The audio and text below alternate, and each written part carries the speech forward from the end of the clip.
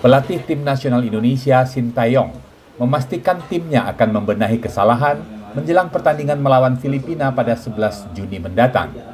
Hal tersebut disampaikan Sintayong dalam konferensi pers usai pertandingan melawan timnas Irak di Stadion Utama Gelora Bung Karno, Senayan, Jakarta pada Kamis 6 Juni. Sintayong mengatakan para pemain akan bekerja lebih keras guna memastikan tiket menuju putaran ketiga kualifikasi Piala Dunia 2026 dapat diraih oleh timnas Indonesia. Menurutnya, pertahanan timnas Indonesia menjadi penyebab kekalahan 0-2 melawan Irak. Akan dievaluasi agar bisa meraih tiga poin saat menghadapi Filipina.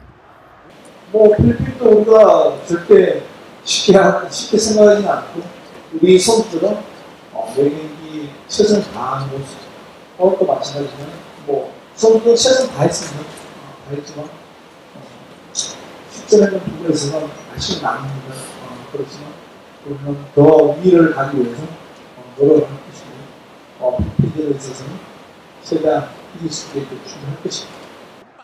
Sintayong menambahkan saat ini Indonesia menduduki posisi kedua grup F dengan raihan 7 poin dari sekali kalah, sekali imbang, dan dua kali menang. Sementara Irak berada di posisi puncak dengan 12 poin. Vietnam di posisi ketiga dan Filipina di urutan terbawah dengan satu poin. Dari Jakarta, Pradana Putra Tampi, kantor Berita Antara, mewartakan.